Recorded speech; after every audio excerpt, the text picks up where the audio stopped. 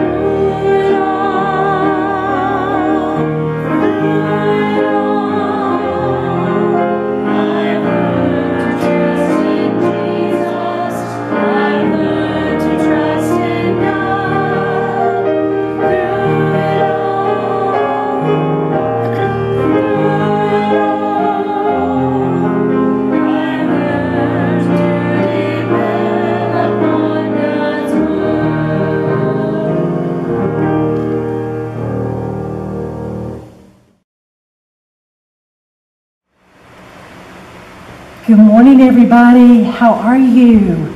This morning I was thinking about the wind, and some of my most special memories are about being out in the wind. Um, being in a boat and feeling the wind on my face, uh, sitting by a creek and hearing the water move, but feeling the breeze in the mountains. I grew up in the mountains, and it makes me uh, want to go home, want to go back there when I think about being in the mountains when the wind's blowing. I started thinking about a story in the Bible from John chapter 14, and that's in the New Testament. And it's a story that, that Jesus really wants us to know is that even though Jesus went away after Easter and Jesus was resurrected and he went back to heaven, he wanted us to know, just like the wind, that he is still with us and he sent us an advocate and an advocate is someone who supports, who's there all the time for us, and um, who loves us no matter what. And that was the Holy Spirit. And this morning I was thinking about the wind. I've got my fan blowing over here, and you know, as I get closer to it, I feel that wind. And if it's hot outside, you know you want to go in and feel the feel the air, so it cools you down, or um, it makes you remember things. And I brought this morning um, a stick of all kinds of streamers. And you know, as, I'm, as I'm watching them blow, I kept thinking, how are they blowing? What's making them blow? Well, the fan, and, and it pushes wind through and air, and it turns, and it makes us makes us remember the coolness of the air, and it makes them blow. But you know, we can't see it. I mean, I can feel it, but I can't see it. And right now, more than ever, God wants us to know that the Holy Spirit, even though we can't see it, is with us. And how do we know that? How do we know that the Holy Spirit is with us? Well, look at the people around you that are sitting with you this morning. Take hold of their hands, touch them, feel them. You know they're there. But more than that, you know their love for you. You know their love for you by the things that they do, but you might not be able to see that. You can feel it. You can say, My mom, my dad, my grandparents love me. I know they love me by the things they do. But the love that we feel is not something we can touch. It's just something that we know. And so this morning and this week, as you move about, I want you to think about, you know, Jesus is everywhere. Jesus is around me. All I have to do is watch and look. And in my heart, I will feel him. Thank you guys. Have a great week.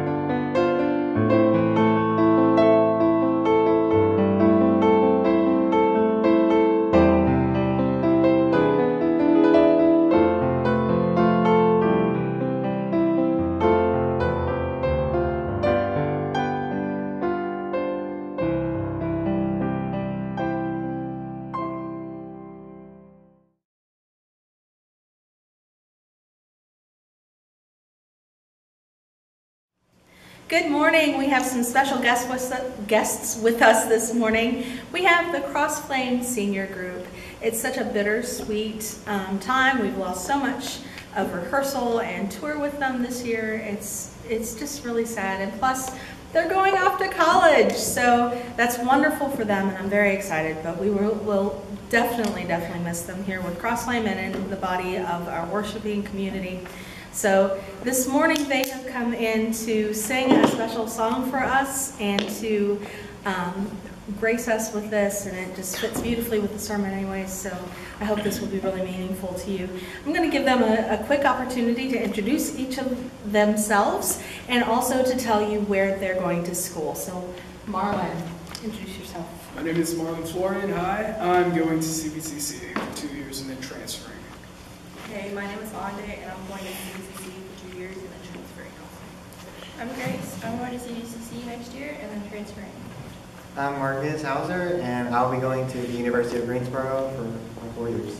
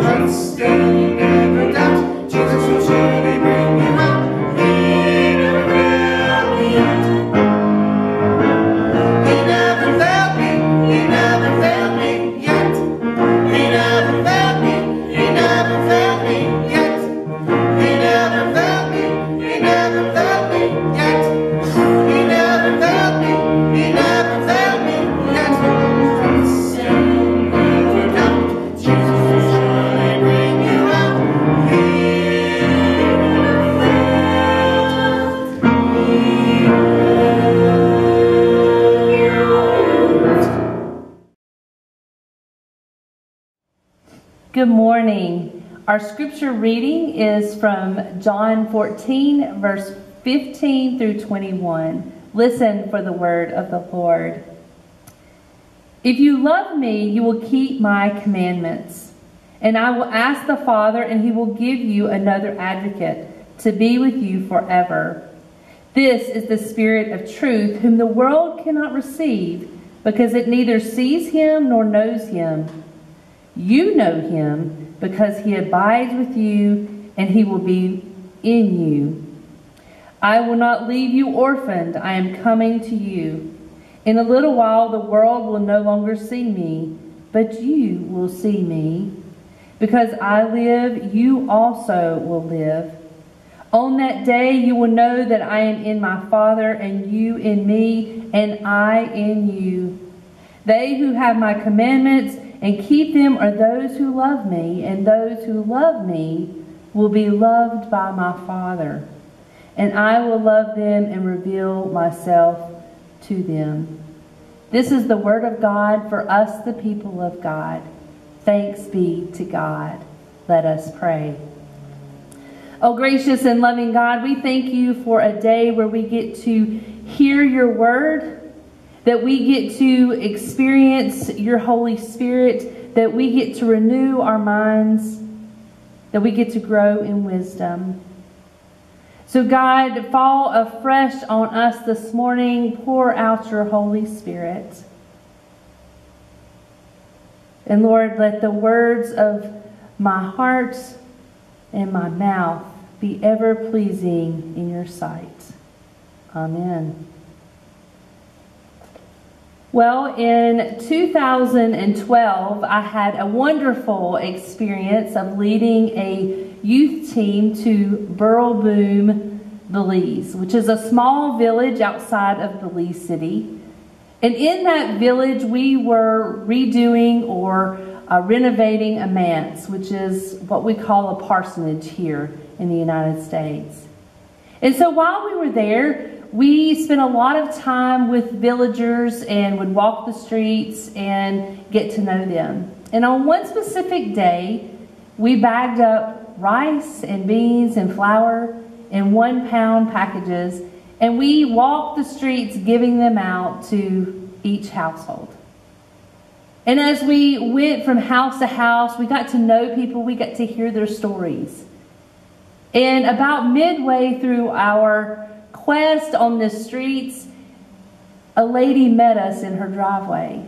And her name was Darlene, and she came running out and with pure joy on her face and tears that filled her eyes. You see, Darlene introduced herself and said, What are you doing? as she saw us bundled with food in our arms. She wondered because she had been praying to God for provisions, for food, for what she needed in that moment. And then we showed up. You see, Darlene's pantry had been being depleted. She had been using her resources and wondered how those resources would be replenished. And she went to God in prayer. And as we talked and, and her eyes continued to fill with tears of joy, she shared with us that she was a caregiver for her mother, who was 101 years old. She was the oldest in the village and was close to her final days here on earth. And so, as she shared about her mother, Mary, I asked if I could see her and pray with her. And Darlene was ecstatic that we would go into a home and pray with someone that we didn't even know. So she led us back into a back bedroom in her home where we found her mother, Mary, laying in a hospital bed. And her bed was cozily set between two windows so that she could watch outside so the sun would hit her in her bed while she laid there. And so, Mary, as I entered the room first, her eyes lit up, and as her body lay there frail and unable to move, I experienced and saw pure joy. A joy like none I had ever seen before. A joy that lit up the room and told a story without ever saying a word. So I went up to Mary's bed and introduced myself, and the first thing she wanted was my hand. And so she held my hand and we talked, and she wanted me to come close because her height, her, she was losing her eyesight. So I bent down to her bed and we talked. And she shared Jesus with me. And she shared the stories of how she used to run, but now her legs could no longer do that. And we talked about the beauty of what life would look like after. That she would be able to run again. Mary shared with us the promises of Jesus Christ. Mary shared with the whole team what it looked like to remain steadfast in her faith. Mary was approaching a change into a life eternal. And with that, she knew it wholeheartedly. She told us, I'm not going to be here but a few more days. I know it. But the truth is, I'm going to live every moment as if I have a lifetime. We also need to live our life as if we were running the race and staying the course and remain steadfast as we have a lifetime. Jesus, in his final discourse with the disciples, was sharing with them an assurance and a hope. He was giving them a message that meant far more than what they really understood at the time. I can tell you, each one of us have experienced change. We have had to be in quarantine and navigate our lives in a new way. Our graduates, you have had to navigate school in a profoundly new way with online classes You've had to remain steadfast in getting up in the morning and doing your work, even though the environment around you changed and you didn't know what to do or what was going to change in the future. You had to remain steadfast. And so this morning, we're, we're talking about this change as well because we're getting ready to enter back into a new season not only for our graduates, but for everyone. Where things open back up, we have to navigate something yet again. And graduates, I know you may be feeling a little bit anxious about what the fall looks like or what is going to be your next steps. What will you have to endure?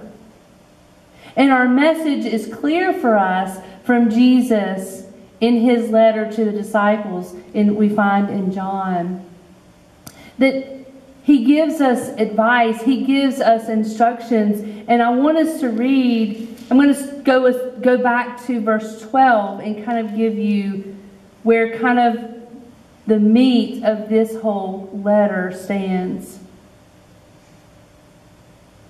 And Jesus speaks to them and he says, Very truly, I tell you, the one who believes in me will also do the works that I do. And in fact, will do greater works than these. Jesus is giving not only the disciples this message that when you have faith, you will do the works, that the inside of you will match the outside. And that's what will help them sustain and remain on course in their, in their life.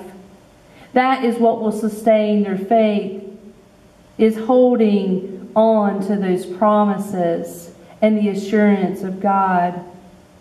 And then in the verse 15, he says, If you love me, you will keep my commandments. And so, in through all this change That's a message for us. That we get to keep God's commandments by loving God and loving neighbor. And all the other things that we are enduring, we don't have to worry about. Now, I know that's not easy. I know that's difficult because we want things the way we want them. And there is this anxiousness because we don't know what's to come and what's going to happen and how do we live our life and where are our paychecks coming from and do I am I going to be able to take this class or am I going to be able to move into a dorm like I normally do? You see, in Jesus' message, he doesn't say, oh, your life is going to be normal. Life is going to go on with progression and the way, the comforts of the world. No. He assures them that he's going to be with them. That he's not going to, that we are not going to be alone in anything. In fact, he says, I'm sending you an advocate. And this advocate will be with you through me because because you know me, you know the Spirit. And because this advocate will be here, I will be here also.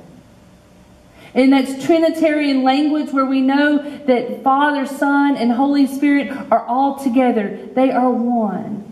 And when we experience one, we experience the other. There's no separation. And so Jesus is giving them this message, telling them that something wonderful is going to happen, that God is going to be with them through this Holy Spirit, that Jesus will remain with them. All we have to do is keep his commandments. Live in a life of faith grow in our understanding, love our neighbor, and do what he asks us to do. And that's the assurance he was giving the disciples that they weren't going to be alone. Even though they experienced this change, they were not going to be alone. In our change, we are not going to be alone. I share with you this story in 1951, Representative Richard Bolling of Missouri proposed a dam for his district but saw it defeated in the committee. He brought it up before the entire House knowing the lack he lacked enough votes for his passage. But Bolling had befriended Sam Rayburn, which was the Speaker of the House. When Bolling rose to present his case, Sam Rayburn stood up beside him. He rose in support. He rose so that he would not be alone. And in that effort, the bill passed. In whatever we do, when we stay the course, just as Mary in her story, or Richard Bolling, the advocate, the Holy Spirit is with us. Jesus is with us. That we don't have to go through change or life alone. And so, graduates, I, I share this with you because in the next couple of months, you will be experiencing a newness You'll be leaving what you've always known in high school and in, embarking on a new way of living, whether it's a job or going to college, living at home or living on your own.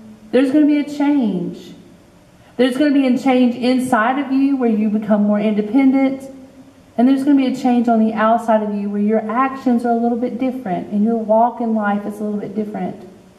I encourage you to stay steadfast in your faith, knowing that God goes with you through the power of the Holy Spirit, and Jesus Christ is right there with you as well, standing beside you in every single move. Just stay the course. Don't linger from your faith. Don't allow the, the influences of the world to take away that assurance that God gives us through Christ. I ask you this where will you put your confidence? Where will you put your confidence in the times when you struggle and when you have those questions? Remain steadfast. When life happens and we need one someone to stand by us, who will we call? Will we call on Christ? Will we call on our Christian brothers and sisters? Will we call on the body of Christ to walk with us? I sure hope so. Even though we're not together in person, I don't know what we, we as a body of Christ would do without one another. We are a support, and God works in and through each one of, of you. So, as we all navigate life in new, let us hold fast that Christ remains with us. And as we approach Pentecost Sunday in a couple weeks, hold fast that the Spirit rests with us. As Easter people, we celebrate the resurrection of Christ and life eternal. But in this message, it's not just about the life eternal, it's about life now. We have life now. Jesus offers us a way now to be able to remain steadfast in all that we do. So hold fast to that. Hold fast to that hope. Take it with you. Let it guide your steps in all that you do. In closing, I want to read the words to Blessed Assurance, the hymn. These words give us encouragement to stay the course. Blessed assurance, Jesus is mine. Oh, what a foretaste of glory divine. Heir of salvation, purchase of God, born of his spirit, washed in his blood perfect submission, all is at rest. I am my Savior, am happy and blessed. Watching and waiting, looking above, filled with his goodness, lost in his love. This is my story, this is my song, praising my Savior all the day long. This is our story. This should be our song. We should praise our Savior all the day long, knowing that God goes with us through the power of Jesus Christ and the work of the Holy Spirit. May we rest in that assurance. Amen.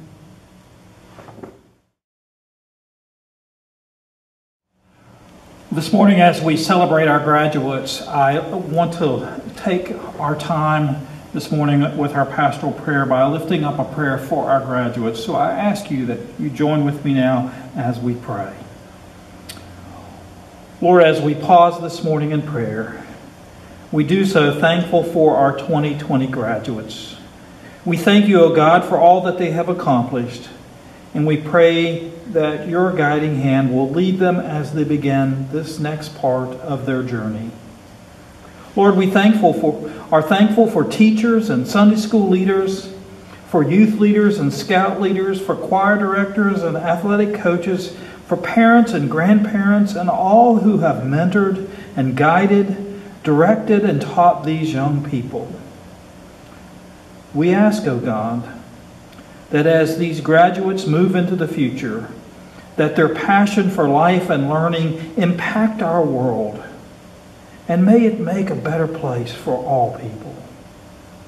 We also ask, O oh God, that when these graduates become discouraged, that your presence through the Holy Spirit might encourage them to continue on serving and caring for that which they are passionate about.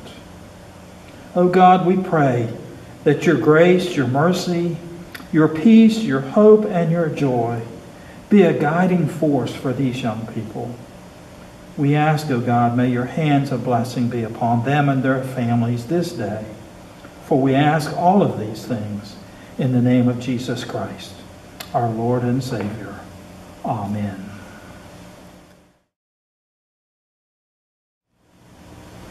Well, good morning. On behalf of the United Methodist Men, I'd like to extend our congratulations and best wishes to our graduate. It is a pleasure for Catherine Snipes and I to be with you to announce the recipients of the inaugural Charles M. Snipes Scholarship. Before I ask Catherine to come and make any comments that she wishes and then to announce our scholarship recipients, I'd just like to give you a little background on, on how we arrived uh, to this this morning. Um, back in 2018, uh, Pastor Joe and I were having a conversation when he mentioned his desire for a scholarship uh, program for our students uh, here at St. Luke's. Uh, from that desire, uh, United Methodist Men then decided to take it on as a ministry. Uh, the original name for the ministry was simply the United Methodist Men Scholarship. Uh, there were several of our members who expressed their desire for the scholarship to be renamed in memory and honor of Charles. And we all knew in Methodist men that there were several things that, that Charles uh, loved dearly. He, um, foremost, he loved his God. Uh, he cherished, he cherished and loved his family. Uh, he loved this church, uh, of which he was a charter member.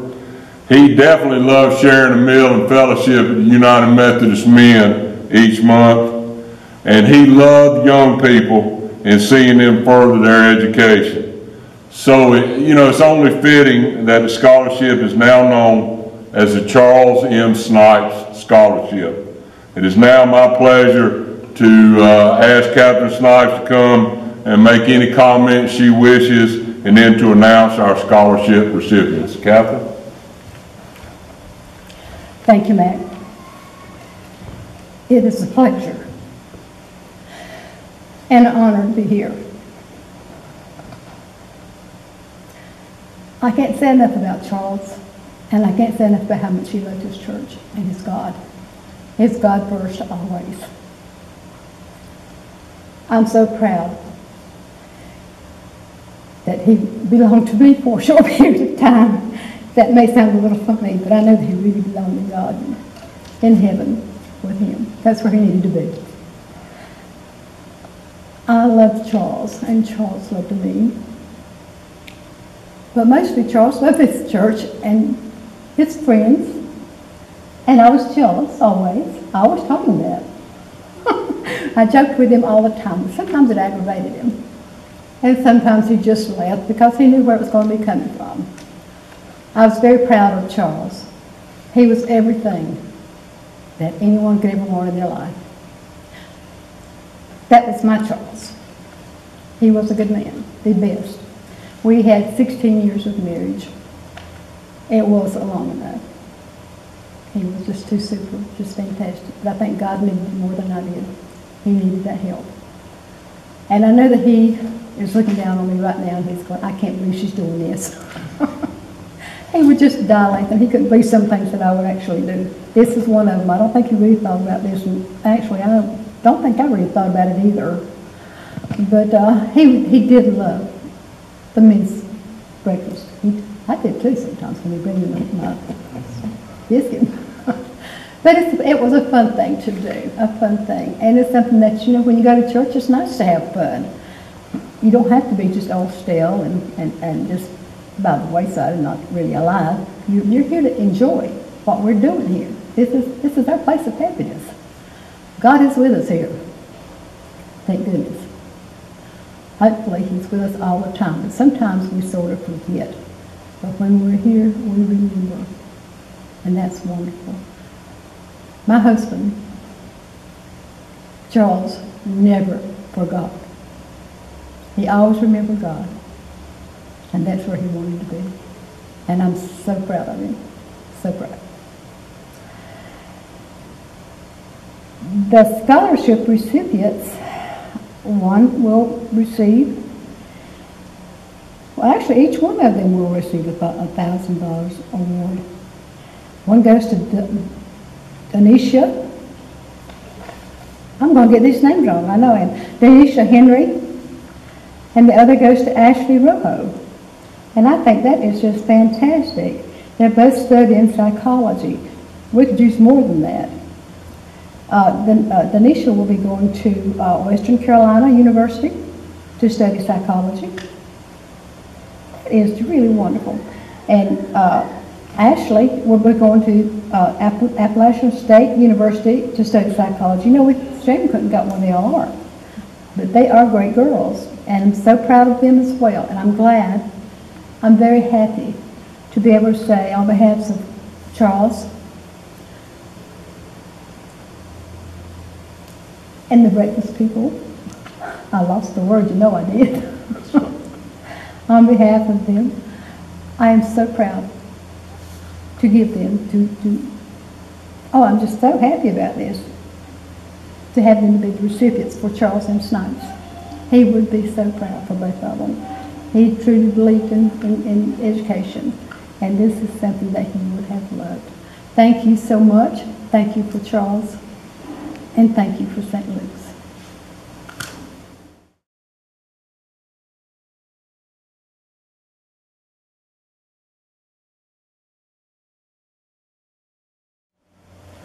This morning, we want to lift up our announcements to you as you worship there in your homes. First of all, we want to re- remind you that, that today at 5 p.m., we will parade by our high school graduating seniors' homes. If you would like to participate, we ask you to line up your car in the church parking lot at 5 p.m. today. Please stay in your cars and follow the lead church vehicle by each graduate's home. You are welcome to decorate your car at home celebrating our 2020 graduates. If you have questions, you're welcome to contact Pastor Joe or Pastor Monica. Secondly, I want to remind you that our administrative council will meet on Monday at 6 o'clock. This meeting will be by Zoom, and you should have received an email and a Zoom invitation to this meeting if you're a part of our administrative council. Thirdly, I'd like to lift up a call charge conference that will take place on Tuesday, May 26 at 6 p.m. This uh, charge conference will also take place by Zoom, and it, it is uh, the purpose of that meeting will be to approve our new senior pastor's salary package. And lastly, I want to re- remind you that we are collecting men's clothing on each Wednesday between 10 and 2 at the FLC. Uh, these clothings will be used uh, to be shared with our friends and neighbors at the soup kitchen um, as they uh, gather each day for their meals. Thank you for being uh, attentive in our worship service. God bless.